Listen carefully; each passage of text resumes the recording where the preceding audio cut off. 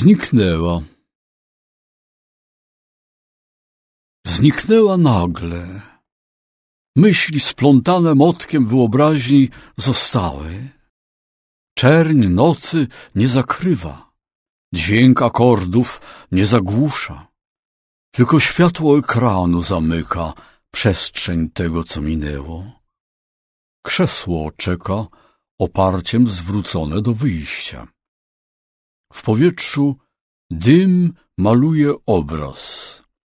Surrealistyczna wizja niespełnienia w wysuniętych szufladach płonącej żyrafy. Pustka. Skąd więc tyle słów, skoro została pełna garść milczenia?